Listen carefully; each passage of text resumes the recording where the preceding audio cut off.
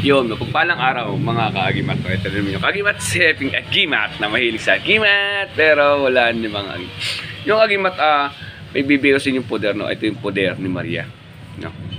Ah, gamitin nila sa mabuti. Kagimat, ito yung legit. Ngayon, kagimat, may guide din ako sa Facebook kung paano nyo pakapitin. May guide din dito sa YouTube kung paano pakapitin. No, kagimat, ito ibibigay yung poder ah, ni Maria.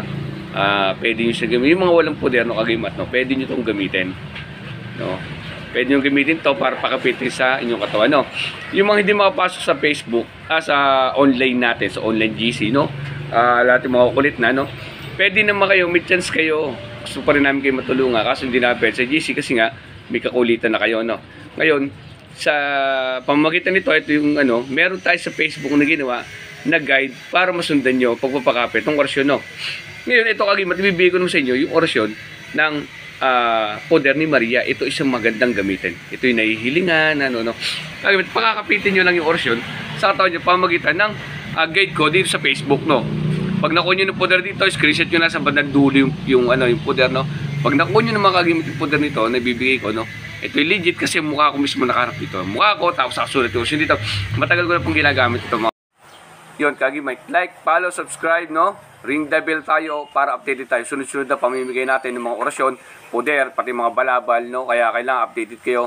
Like, follow, subscribe po, ring the bell para updated kayo sa lahat, no? Sunod-sunod na po ito, kagimat. Kagimat, no?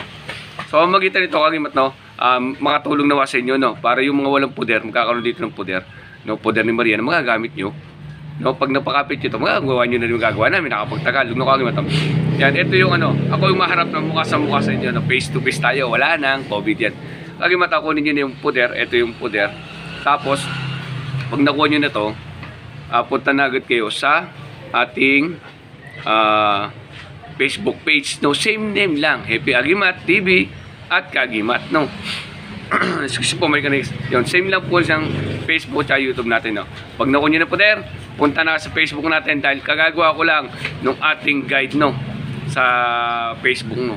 Yung guide natin para masundan nyo, no? Pagbibinyag pati, para makapagtagalog kayo ay nasa Yun, Facebook no po, no? Kagimat pa, no?